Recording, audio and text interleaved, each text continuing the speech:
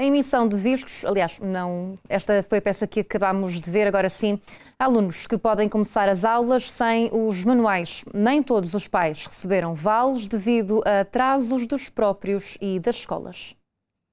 O problema não é novo, mas repete-se ano após ano. A uma semana do regresso às aulas, há alunos sem livros escolares.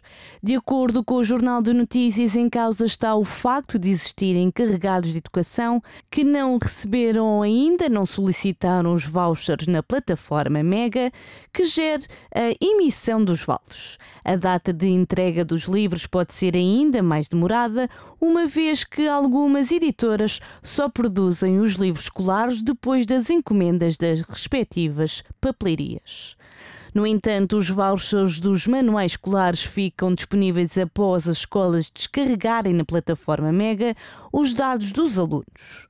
Ainda assim, se houver atraso nesse processo ou a existência de alguma informação incorreta, a emissão dos vales também sofrerá atrasos.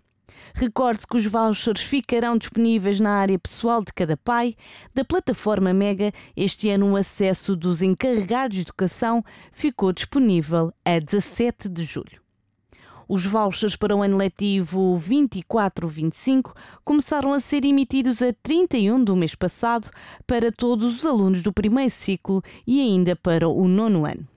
A verdade é que o cenário pode piorar em alguns casos, isto devido às editoras só produzirem manuais consoante as encomendas das livrarias. Na prática, não é possível levantar os livros imediatamente.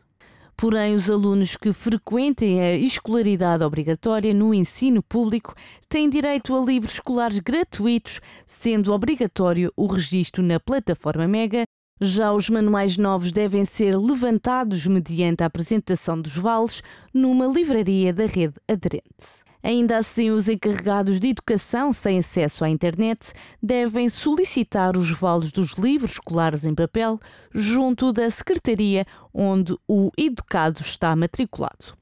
Contudo, os cadernos de atividades e livros de fichas não estão abrangidos por este programa de gratuitidade, devendo ser adquiridos pelas famílias.